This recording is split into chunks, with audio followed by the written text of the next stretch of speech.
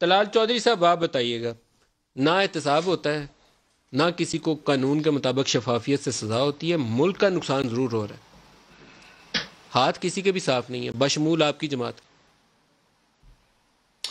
मलक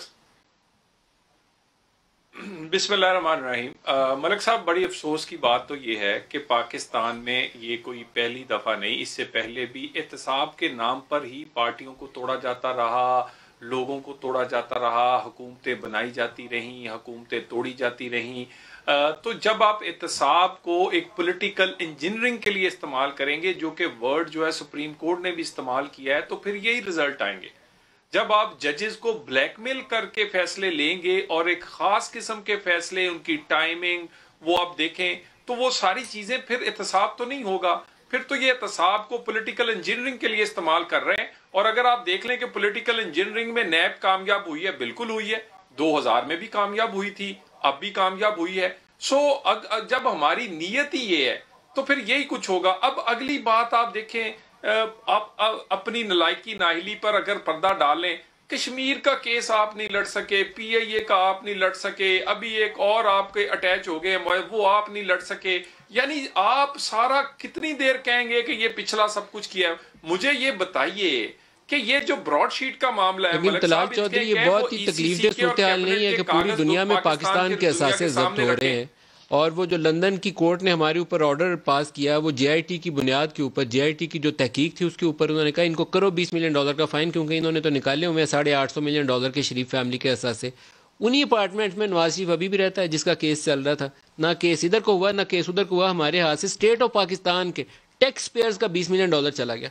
बहुत ही तकलीफ़ नहीं है बहुत दुख की दास्तान है। या नवाज़ शरीफ को पकड़ लेते उसके अपार्टमेंट जब्त कर लेते फिर हम इनको शाबाशी देते। ये तो हमारा पैसा चला गया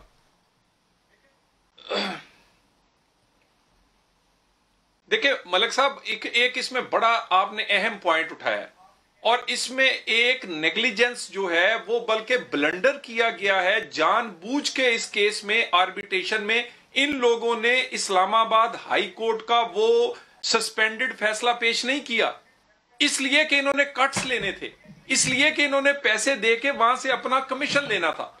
यानी ये बताते उन्हें कि ये भाई इस पे फैसला नहीं अभी तक आया।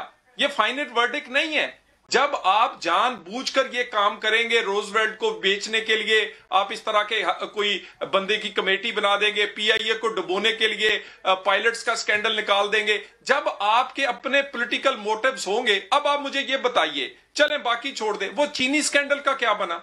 कोई मुझे एक रुपए की रिकवरी इस कॉम की बता दें, जो कि सौ अरब रुपए लोगों की जेब से निकला आठा स्कैंडल का क्या बना?